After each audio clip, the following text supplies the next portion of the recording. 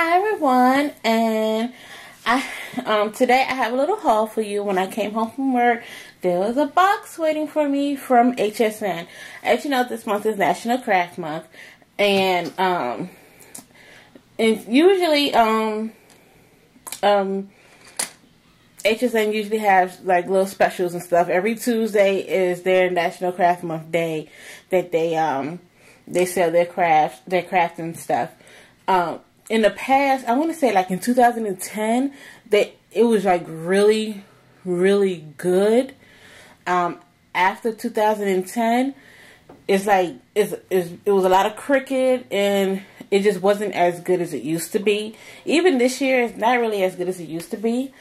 But um, the one good thing is that um, what's her name? Um, Claudine, um, I'm not sure if I'm pronouncing her last name right. Hellmark. Um, she has a new scrapbook, um, scrapbook line. Um, if you're familiar with her work, she's she's been um at Martha Stewart and stuff. She's known as doing like collage painting type things. So she she has since then took her artwork and put it to um to scrapbooking. So I pretty much got every single thing except for the rub-ons um, that she came out with. So, and then some of the things I got two of just because I knew I was going to like it. And things like this, I knew my daughter was going to like it. So I knew, I said, well, let me get two because this is going to go away. So the first thing that I have here is the Sweet Treats um, chipboard um, pack. And this has over 200 pieces.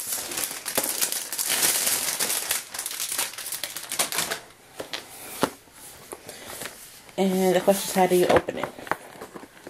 Oh, there you go. And it opens this way. And I have a feeling that once I'm finished with everything inside of here, this is going to go to my daughter also. Because she loves ice cream trucks.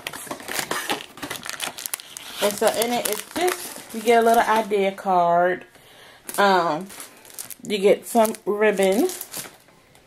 And then you get a whole lot of chipboard pieces.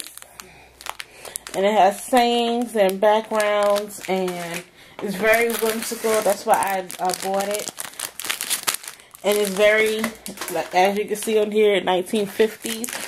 For some reason, I really love that time period. Don't necessarily like what it represented, but um, I just like the simplicity of how things were back then.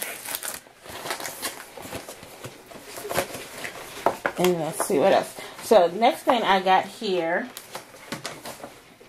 is pop pop art stickers a go go. It's called a go go because of the um the lunch box that you get. And inside are all of these 3D pop-up stickers. Very old-fashioned. Mommy? Yeah? Um, I want to turn um, um, that down. I want What to, is it right here? Can I have some space? Okay, one minute, Boo.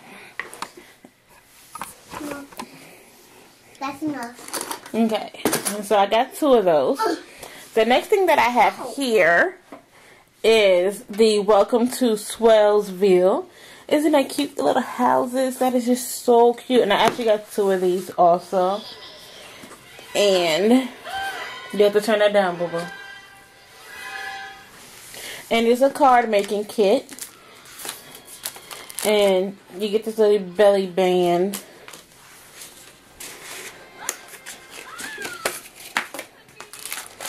So you get some fabric stickers, and these are adhesive back.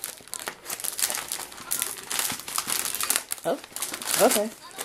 Everything's together. Everything's really stuck in here. Okay.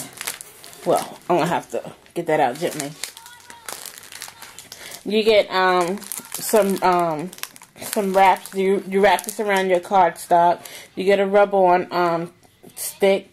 Then you have rub-ons. Then you have chipboard pieces. You have some stickers. And you get 30 you get 30 um, envelopes and 30 cards. And here, here are the envelopes. They, you okay? Yeah. Okay.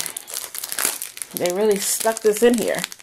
And all of the envelopes are, are stamped. And hold on one more. Okay. And so I got two of these.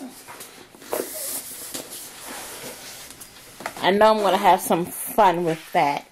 Then the next thing I got is this cute Super Swell um, scrapbook kit. I mean, just look at this right here. And then it opens up. This the um the sticky didn't stay on right here, but it's okay. Um, then you have your little pie. Well, I don't like pie. It goes on your plate. You don't like food.